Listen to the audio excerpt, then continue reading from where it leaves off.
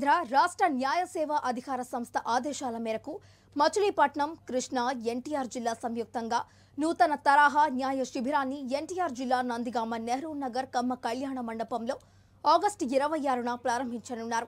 ఎన్టీఆర్ జిల్లా అడిషనల్ న్యాయమూర్తి శ్రీనివాస్ అధ్యక్షతన ఈ కార్యక్రమం జరగనుంది.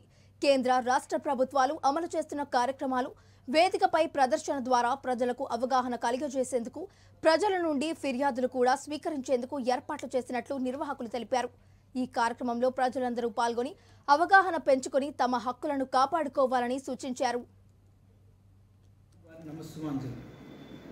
కేంద్ర న్యాయ సేవాధికార సంస్థ మరియు రాష్ట్ర న్యాయ సేవాధికార సంస్థ వారి ఆదేశాల మేరకు జిల్లా న్యాయ సేవాధికార సంస్థ మచిలీపట్నం సంయుక్త కృష్ణా జిల్లా మరియు ఎన్టీఆర్ జిల్లా పరిపాలన యంత్రాంగం మరియు ఎన్టీఆర్ జిల్లా పోలీస్ యంత్రాంగం సంయుక్తంగా నిర్వహించు నూతన తరహా న్యాయ సేవల శిబిరంను కమ్మ కళ్యాణ నెహ్రూ నగరం నందిగామ ఎన్టీఆర్ జిల్లా నందు ఇరవై ఆరు ఎనిమిది రెండు వేల ఇరవై మూడవ తేదీ నాడు ఉదయం పది గంటలకు ప్రారంభించబడును.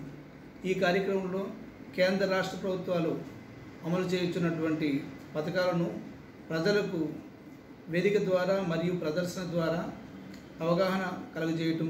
అంతేకాకుండా ఈ కార్యక్రమంలో ప్రజల నుండి ఫిర్యాదులు కూడా స్వీకరించబడింది.